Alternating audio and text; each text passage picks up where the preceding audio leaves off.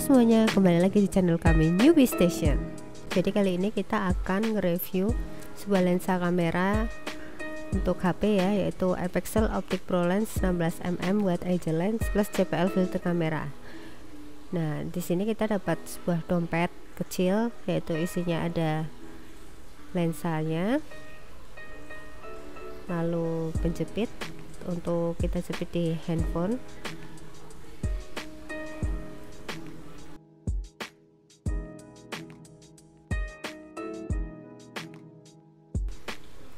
terus kita juga dapat ring seperti ini.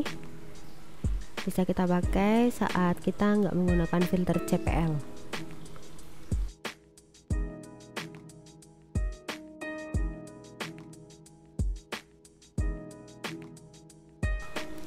sekarang kita buka penutup lensanya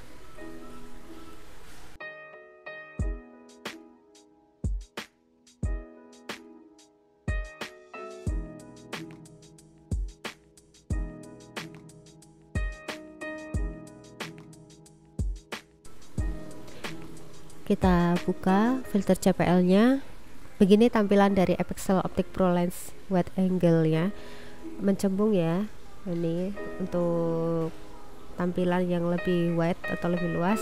Dan di belakangnya juga ada penutupnya lagi. Aman banget ya supaya lensanya nggak kotor dan nggak baret juga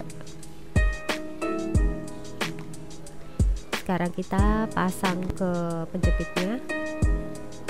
Tinggal kita putar.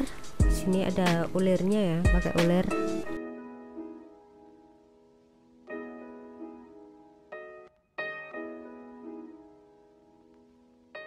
Nah seperti ini. Sekarang kita pasang filter CPL Filter CPL ini dapat mengurangi refleksi cahaya dari permukaan non metal seperti air atau jendela kaca dan warnanya menjadi lebih terang, jelas, dan kontrasnya diperkuat. Sekarang kita pakai ring. Nah, seperti ini tampilannya. Dan berikut video reviewnya. Ini tanpa lensa dan sekarang dengan lensa epixel. Nah, kelihatan kan gambarnya jadi lebih luas. Dan gambarnya juga tetap jernih ya. Terus sekarang kita coba untuk pasang filter CPL nya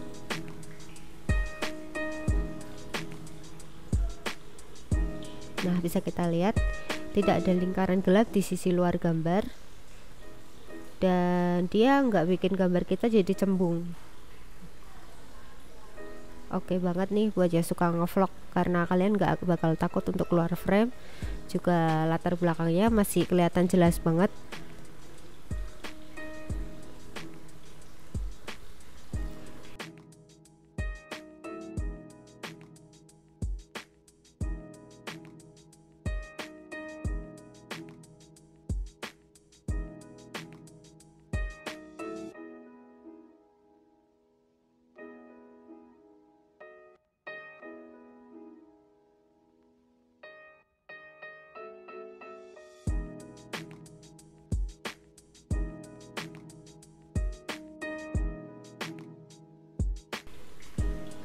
Nah, ini ada contoh foto yang aku ambil.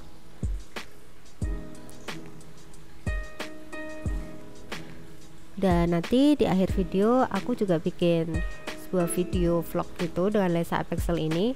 Tapi karena aku naik sepeda ya, jadi masih banyak goyangnya juga nggak pakai stabilizer. Nanti ada keterangan di pojok kanan bawah saat aku menggunakan lensa dan enggak menggunakan lensa Apexel. Menurut aku lensa pixel ini recommended banget buat kalian yang suka vlog atau fotografi dengan menggunakan handphone. Terima kasih sudah nonton video ini, sampai ketemu di video selanjutnya. Bye bye.